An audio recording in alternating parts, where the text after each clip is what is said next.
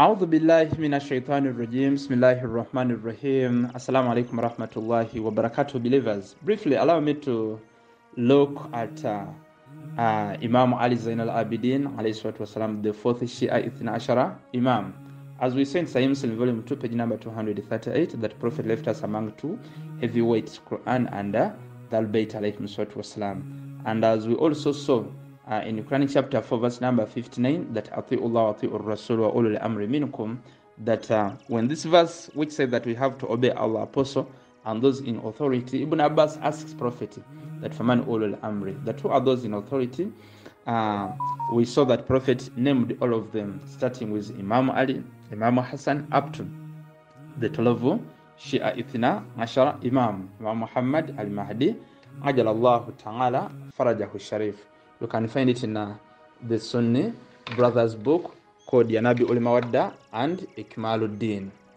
Uh, that tradition is found there. To go on, still, we saw that Allah subhanahu wa ta'ala is then responsible for creating mankind and choosing for him divine leaders in Quran chapter 28, verse number 68. Therefore, this one nullifies the other claim that Surah Shura, verse number 38, wa amruhum shura bainahum, which they, uh, the Sunni brothers claim that uh, uh, it tells them it tells them that uh, Sahabas had to endorse themselves. This verse is not about telling us to choose among ourselves success our prophet, no, but it's telling us just to solve our matters amicably, as you see the word amruhum, two words, amru, affairs, then whom our affairs. Therefore, our affairs, like in case in like in case we get some misunderstanding, we can sit and solve our issues amicably, as Islam means peace.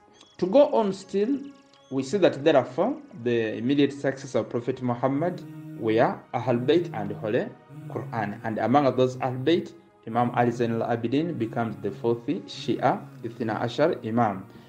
To go on, Imam Ali Zain al-Abidin, his father was Imam al-Hussein wasalam, then his mother was Bibi Shahri Banu. Bibi Shahri Banu. Imam Ali Zain al-Abidin was born on the 15th Jamad al-Awwal in the year of 38 Hijriya. 38th year of Hijriya, which corresponds to 658 AD. Then his martyrdom happened on the 25th of Muharram, 95, in the year of 95 Hijriya, or 95th year of Hijriya, which corresponds to 713 AD. He was martyred by Abu Ablu, by Abu um, Abul Malik. He spent 34 years of Imamat. Then by the time he passed on, he was 57 years and he's buried in Jannatul Baqi in Medina. He was Imam Zain al-Abidin was present in Karbala where we see Imam Hussein defended and stood against the tyranny regime of Umayyads under Yazid. Imam Ali Zain al-Abidin accompanied, you understand, accompanied Imam Ali Hussein salam and the likes of Zainab, they did accompany uh, Imam Ali Hussein Imam Ali Zain Labidin and uh, the likes of Zainab والسلام, and uh, Imam Muhammad al-Baqir, all of them accompanied Imam Hussein والسلام, in Karbala. Remember we said that uh, fighting, you understand, in case you've been oppressed, in case you've been fought, is in place as we saw in Surah Al-Hajj, verse number 39, that أُذِنَ لِلَّذِينَ يُقَاتَلُونَ بِأَنَّهُمْ ظُلِمُ وَإِنَّ اللَّهَ عَلَى نَصْرِهِمْ laqadir that in case you've been oppressed you've been corrupted you have to defend yourself and allah subhanahu wa ta'ala will have to assist your message. Therefore when imam ali al-abidin accompanied his brother he just for, he, he, was following this in quranic law. Even in Quran chapter 9 verse number 71 allah subhanahu wa ta'ala says that uh, we should always stand to forbid evil and command doing of good actions something which leads us to be forgiven by Allah subhanahu wa ta'ala in Quran chapter 9, verse number 71. And in case you do command good and forbid evil, Allah subhanahu wa ta'ala forgives you, increases your sustenance, blesses you with good offsprings, good wife, good marriage partners, gives you paradise, and the rest in Surah Nuh, verse number 10 to 12. Therefore, as we go on, we also see that in case Yazid may be stood against the Al-Bayt, you understand, in Karbala, Yazid, and uh, yet we see that in Quran chapter 2, verse number 124, Allah subhanahu wa ta'ala says, Ahad mean His promise does not go near to the unjust one. Was, Yazid was unjust one, a tyrant, who who killed each and everyone, including children, like Ali al-Asgar, Ali al-Akbar, and others. Therefore, this person Yazid shouldn't even be applauded in Islamic history. To go on, we see that Imam Ali Zain al-Abidin in the palace of Yazid during that time of Adhan when they said Ashhadu anna Muhammadan Rasulullah he stood and asked Yazid is this person being mentioned in Adhan your grandfather or is my grandfather? Yazid kept quiet and people started realizing the bad side of Yazid. We also see Zainab still in the same palace because after the battle of Karbala Yazid I mean uh, because we see after the battle of Karbala Imam Ali Zain al-Abidin and uh, Zainab, Rukaya, and others were taken as captives. You understand? After the war, we also we also see Zainab alayhi salam in Bihal and Wal standing against the tyrant regime of Yazid by saying, "Fakidu kaidaka, fawallahi la tamuhu dhikrana." Scheme whatever you want, do whatever you want, but I swear upon Allah's name that you will not wipe off our remembrance. We Ahl Bayt because loving and emulating us we Ahl Bayt was made mandatory by Allah subhanahu wa ta'ala in Quran chapter 42 verse number 23 therefore all these khutbahs of Imam Ali Zain Labidin of Zainab silenced Yazid and it woke it woken up the sleeping mindset of those people who were supporting him to go on still therefore whatever this Ahl Bayt were doing was in line with Holy Quran which or speaks against tyranny.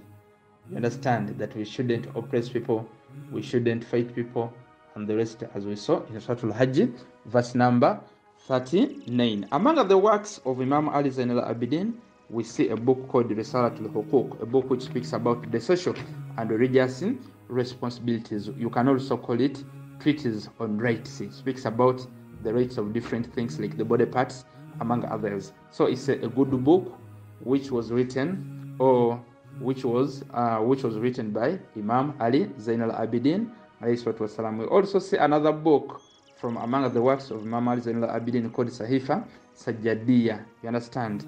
A, a book speaking about different supplications and how to worship Allah subhanahu wa ta'ala and how to supplicate to Allah subhanahu wa ta'ala as Allah commands us in Surah Al-Ghafir verse number 60 that we should call upon him and he does answer us as also Imam Ali ibn Abi Talib والسلام, tells us that man qara'a bab Allah futalahu that whoever knocks the door of Allah subhanahu wa ta'ala Allah opens it for him therefore among the good supplications we, we can use to call upon Allah subhanahu wa ta'ala can be found in Sahifa Sajadia, a book which is also available online on internet. To go further still, we see that uh, prior to the death of, uh, before the death of Imam Ali Zain al-Abidin, he left, you understand, his will, his successor, and he was to be Imam Muhammad Baqir alayhi wasalam, the Shia, 50 Imam. You understand? But the people of his time defied Imam Muhammad al-Baqir and they went with another son of Imam Ali Zain al-Abidin called Zaid bin Ali. You understand? Because for them, the, uh, because uh, because for them, these are Zaids. You understand? Number one, for them they say that uh, an Imam, you understand, it's not necessary that can be infallible. You understand? And uh, this ideology of them does contradict is Quran chapter 33, verse number 1, which says that we shouldn't obey hypocrites and uh, disbelievers.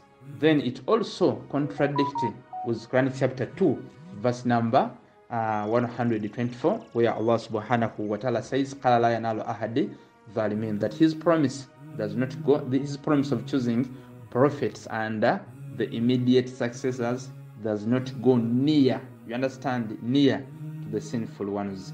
Still here, remember that as we saw, that uh, the will of Prophet Muhammad was in Nitariku fikum al-thaqalain kitab Allah wa itrati. That uh, Prophet left us among the two heavyweights, Holy Quran and uh, the Al-Bayt salatu whom they are following and loving was made mandatory in Quran chapter 42, verse number 23. And we also said that even though a successor of any given prophet is not a prophet himself. Mathalan, an example. The Al-Bayt alayhi to Prophet Muhammad are his immediate successors.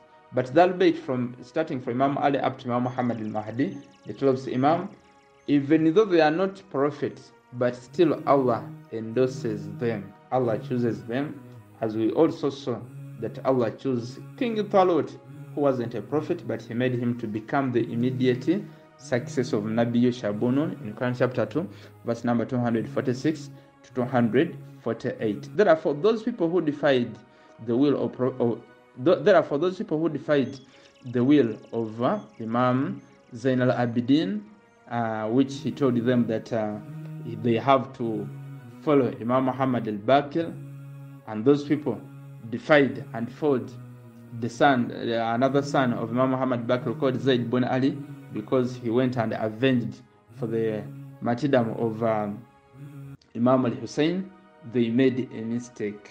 The commands of Allah subhanahu wa ta'ala regarding choosing leaders, only Allah subhanahu wa ta'ala is the one responsible for choosing leaders and uh, uh, for choosing leaders like prophets and their immediate successors, as we saw in Quran chapter 28, verse number 68. The beliefs of these Zaids, another belief, as we saw that they don't, they, for them, they believe that uh, even a sinner can become Imam. They also believe that it's not necessary that Allah has to choose leaders.